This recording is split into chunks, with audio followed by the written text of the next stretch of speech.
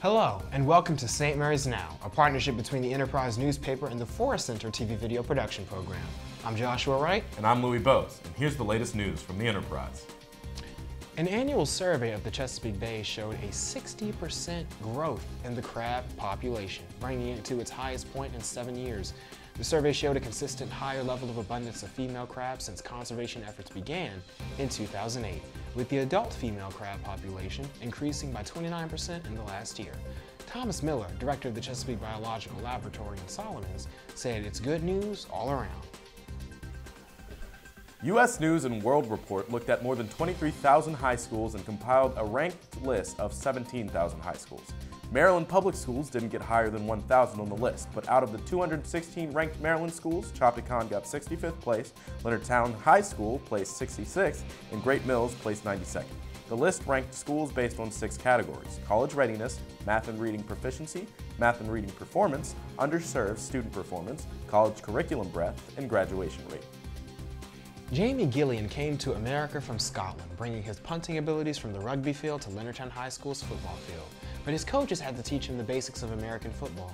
Gillan has come a long way since his first day at Leonardtown, including his signing with the Cleveland Browns as punter after going undrafted in the NFL draft when it ended April 27th. The Leonardtown High School graduate played on a full scholarship at the University of Arkansas at Pine Bluff and broke all of the school's previous records before signing with the Browns.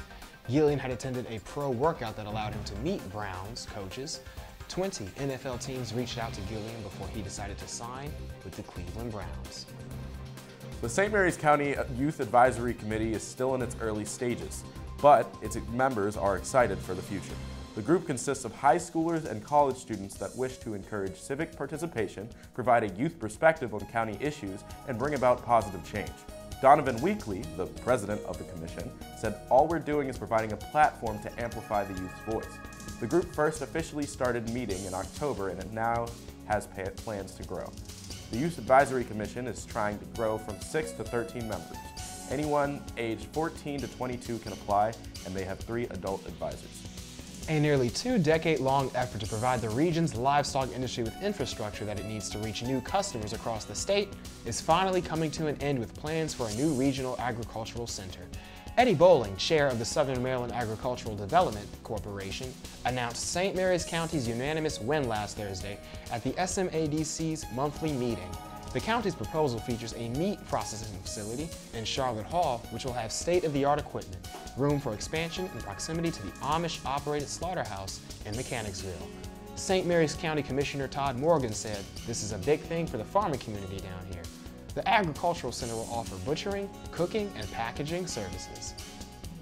This news brief has been provided by the Enterprise. For more details, visit somdnews.com. That's all we have for you on this edition of St. Mary's Now. I'm Louis Bose. And I'm Joshua Wright.